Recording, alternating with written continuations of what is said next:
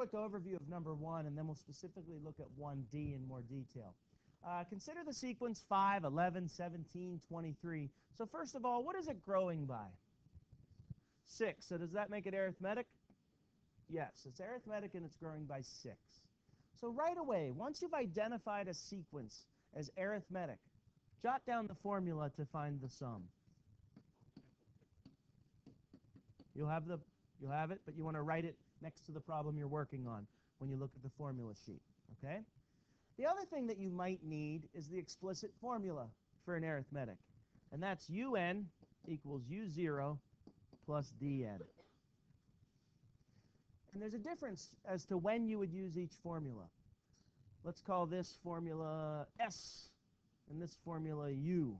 Okay, so the U formula you would use for number 1A. It's asking you for what is the 92nd term. There's a difference between that and something like C. When they say S38, they want to know what do the 38 terms add up to. So this question would go with this formula, and this question would go with the green formula. All right? Now, let's get to part D, which is actually what our question was on. Find the sum of all the terms with values between 100 and 200. Here's what I think some of the problems were when people were working on this. I think they looked at it and thought, okay, they want to know what U100 is and what U200 is, and then add up all those terms. That's not what they're saying. They're not saying in this whole big list of numbers in this pattern, okay? They didn't want you to add up the 100th term all the way through the 200th term. They use the term values there. In this formula, in this sequence that you see here, what they're saying is, what's the first term that you would get to that's over 100. So what term would be sitting here bigger than 100?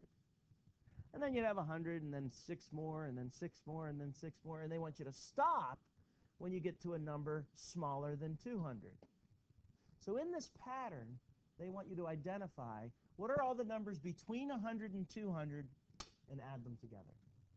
Okay? So here's what I did. I said, all right, well, my formula, explicit formula is u sub 0 plus dn. This is the formula that produces these numbers. What would u0 be, which is the number sitting here in the list? If you went back 6, there'd be a negative 1 sitting there. This sequence adds 6 for every n. So that's our formula. So what I did with this is I said, okay, how long would it take, what would n be for me to get to 100 in this list? Probably, it might be pretty far down the line. We'll see. I mean, the next term would be 41. What would the next term after that be? 47. Then 53. What we're saying is, when would I get to a number bigger than 100? You could certainly just keep track and add 6 and get there. Let's try the formula, though. So what I'm going to do is, I'm going to say, when will un be 100?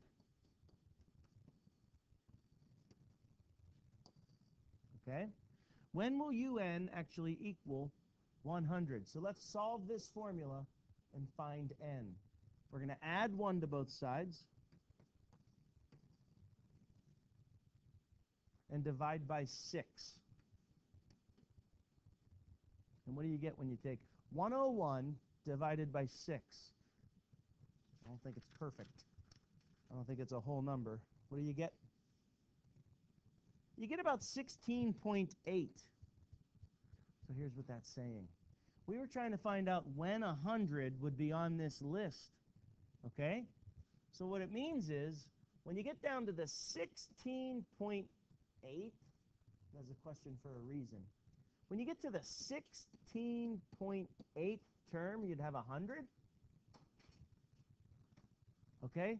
So that means that when you get to the 17th term, you're finally at a number bigger than 100.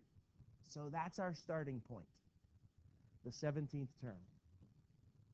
So you would find the 17th term by plugging 17 into this formula, and you get 101. 101 is the 17th term. It's the first number bigger than 100. Well, we have to keep going and find out how long is it going to take until we get to a number over 200. And that's going to be too big for what they wanted. We don't want to be over 200. We want to have the last one before you get to that barrier.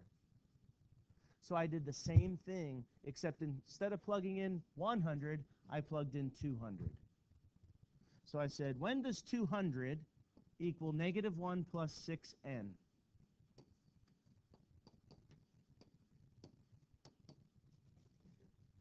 Well, this time it came out to be 33.5.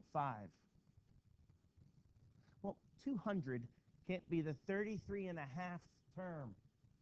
So if you're thinking about it, yeah, there's some thinking involved. You have to like put some pieces of the puzzle together here.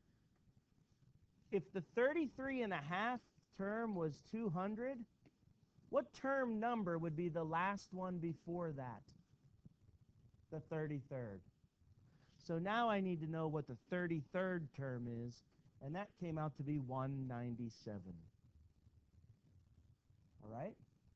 So for our formula to find the sum of these, starting with 101, ending with 197, divided by 2, we still need n. How many terms are there from the 17th term to the 33rd term? If you started with 17 and you went all the way to the 33rd term, how many numbers would be sitting there? 17. You subtract them and add 1. Subtract them and add 1. So there'd be 17 terms in the series. And now, once you get to this point, you just add and divide. And you get 2,000. 533. Uh, that's 1D.